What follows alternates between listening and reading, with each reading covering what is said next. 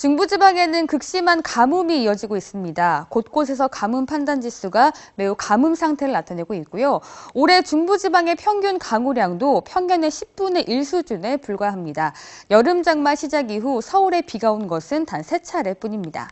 오늘 장마전선이 다시 북상하면서 우선 제주도와 남해안에 비를 뿌리겠습니다. 내일부터는 그 밖에 남부지방으로도 확대되겠고요. 금요일에는 서울에도 장맛비가 예상됩니다.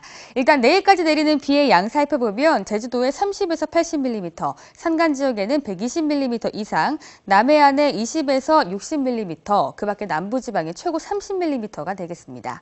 오늘도 중부지방은 무더위가 이어집니다. 서울의 낮 최고 기온 30도로 어제와 비슷하겠고요.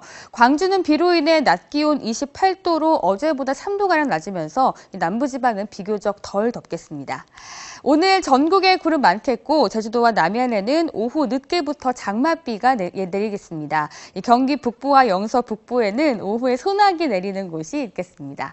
자세한 지역별 낮 기온 살펴보면 서울이 30도, 대전 29도, 대구 29도로 예상됩니다.